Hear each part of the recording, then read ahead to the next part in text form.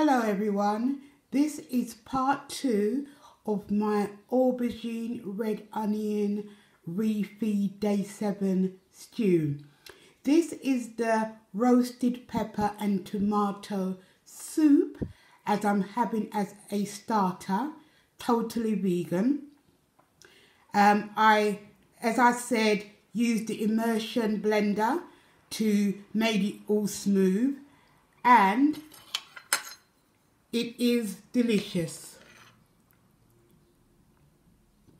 Mmm, very nice. This is the yam with the aubergine and red pepper stew. No, red onion stew.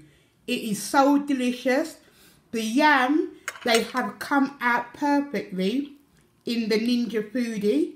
So I did them for 10 minutes in the Ninja Foodi and they come out so good. I'm going to have my main refeed solid food meal now.